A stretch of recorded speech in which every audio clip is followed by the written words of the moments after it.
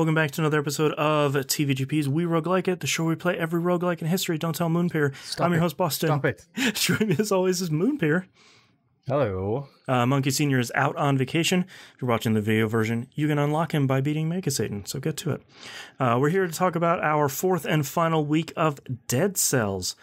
Uh, I I played a whole lot of this this week, mostly to try and unlock stuff, and I Mhm. didn't get much done. Yeah.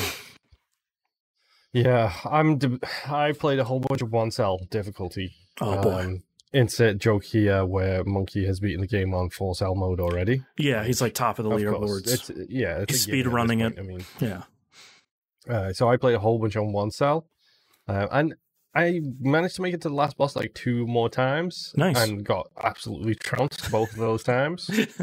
Uh, so yeah, uh, I'm probably gonna dunk it down a couple of notches and probably just grind away trying to get some of those unlocks. Like I don't even have the maximum potion unlocked yet. oh yeah, I don't either. Like because that's a lot of stuff. How many? lot of stuff. How many souls is it? Like the one I'm on now is like 500. Oh, okay. Wow. Mm-hmm. Yeah. And I like a lot of the systems. Like I like that you need to unlock X number of items to get to the point where you can start putting souls into some of those more foundational upgrades.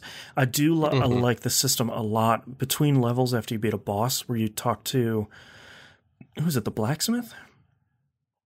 Um Yes. where you can- Um, the collector. Maybe that's him, yeah. Where you're putting your, all your souls into making the better rarity items show up more often. Like, Mhm. I like that system a lot. I feel like that's.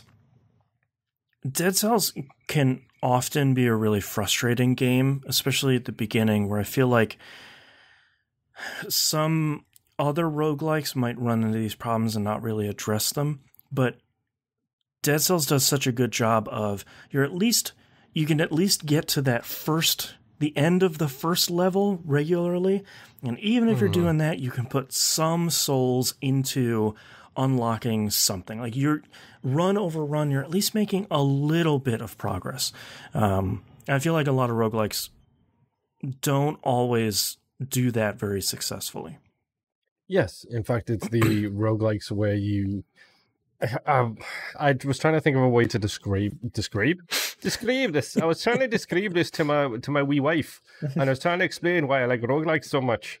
Um, no, I was trying to describe it to to my wife and like say why I like certain types of roguelikes and why I don't. And I realized that I love a good progression based roguelike yeah where you feel like you're making steps forwards every single time you play. Even if you have a bad run, it's still progression. Which Yep. so far I've noticed, like on all of the roguelikes that we have where I didn't like them as much, it's always one where I don't feel like I'm progressing. Like right 20XX is a good example of that. Like I don't feel like I made progression in that. It was all about this the look of the draw kind of thing. yeah i've been Um, playing isaac on my switch lately and hmm even if I have a bad run, I'm playing a lot of Maggie, so I'm having a lot of bad runs. At least maybe like put a couple of cents in the into the donation machine. You're maybe blowing up some tinted rocks to unlock something else. Like you're making progress run over run. Sometimes it's really big where it's like, cool, I just I beat seven, you know, check marks on this run. Or eh, maybe I just tossed 10 cents in the donation machine. And I think that's what's so great about Dead Cells is even if you have a bad run, you can at least say like, "Cool, I got nothing good on this first floor. I'm gonna sprint to one of the exits, and get that two minute door, get a bunch of cells, Yeah. pump that into something, and just see how far I can go." Yeah. Yeah. It's it's one of my favorite things about it is it feels well, it feels tough, number one. Yeah, because it is tough.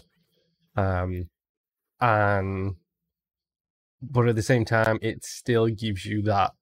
Yeah, I'm making progress. It's the Dark Souls effect. It's I'm making even if it's an inch, it's progress every Yep. single time, and like it helps me in this case, especially to know. Yeah, I'm definitely making progress because I did one cell difficulty and made it up to the last level several times. Mhm. Uh, like I made it to a whole bunch of new environments. I now know how to get the giant's key so I can try and get into the cabin. Yeah. Uh, like I've figured that stuff out. And it's like, okay, now I just need to put that down and implement it by making progress and hopefully I actually going to new areas, finding new stuff, but at the same time just getting a whole bunch of new unlocks. And then the Mhm. new unlocks change the way you play. Right. Like Did- Did you find? I just found it. I think it was yesterday when I was playing. Did you find the Half Life unlockables? I found the cosmetic. Um, that's all I've found so far. I haven't unlocked it yet, but I've definitely found the the suit. So I found the suit and the crowbar. Um, there was a, Oh yeah, I do have the crowbar as well. yeah. I like that. There's just a dude with a head crab, and I like that they reference unintended consequences, which is a, a really good cut for Half Life. But yeah, it just the HEV suit and just a crowbar. It's like, all right, cool. Like that's I don't I don't know where this came from. L- like a lot of the other uh, sort of winks and nods in this game, but all right, yeah, I can I can appreciate that. Yeah, I Um, love a good indie reference. Yeah. I, I really wish I really wish I made more progress in this game, especially for how much I played it, but I feel like like we talked about a lot in T-Bomb R, you're just building the flowchart. It's like here's the good synergies, here's what all the enemies and the bosses do, here's how I can abuse this first boss fight with whatever build I have. You know, you're you're learning and you're you're getting better and um, you're using all of your tools to get through stages faster and better and smarter. And it just, I feel like I never got over that hump where it's like, all right, cool. Now I've got, I've got these great builds and one cell mode is easy. Now I can get over that hump to get to the next one. And I just, Yeah. in these four weeks, that, that just never happened for me. But I beat the game for the first time. And that, Yeah, I excited about the that. same thing. First Yeah. run as well, first time, which is the most shocking thing. yeah, Um, but And yeah, I mean, it- Good. It's a good game. Yeah. like it's a genuinely good game. Yeah, it's one of those things where it's like you and I had both played it before, and I feel like even if we hadn't, we'd probably be excited to play Dead Cells because nearly everybody that plays it is like, yeah, Dead Cells is really good. And a lot of it is like, I never played a roguelike, and Dead Cells is really great, and I sort of get it. Um, I feel like Mhm. that's that's been pretty great. Um, and I wish I had more to say about it, but Dead Cells is Yeah. still really good, and they keep putting out patches that keep improving the game in sort of fundamental fundamental ways. So Yeah, I mean, the simple fact that they give you the um, they give you specifically you Mhm. the screen shake option, like oh god, I appreciate it so much. It's so good. I can play the game for like because before it would be like I play a run, maybe two, and at the end I'm just like, this is I do not feel well.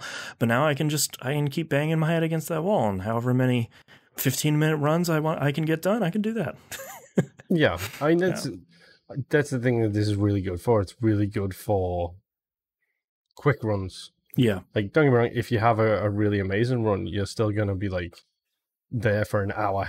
right, right, right. But if you do a really quick, like if you're having a couple of bad runs, it is just a in and out kind of thing. It's like cool, okay. Yep. I, I it That wasn't a winner. hmm Yeah. Uh, all right, let's talk about our next game here. Uh, since Monkey is out, we'll save our science for next week. Uh, so the the first episode of the next game will come out alongside the uh, the science episode. Uh, the next game is that has been this one is uh, randomly chosen uh, is Moonlighter. Uh, came out on PC, Xbox One, PS4, and Switch. Um, if you don't own this already, the Between Dimensions DLC is out, and it looks like there's a good bundle with that and the base game that saves you a couple of bucks if you want to scoop up both at the same time. Uh, so we're going to play uh, Moonlighter, which is a game that, have You played that or do you haven't? Yeah. Yeah, I played it a lot when it came out, and I really like half of it and kind of really didn't like the other half of it. Um, and I, I'm they they have gone and they've they've spent a ton of development time sort of smoothing out a lot of the edges on the game. Um, as a result, I'll probably just start a brand new run uh, just to to start from the beginning.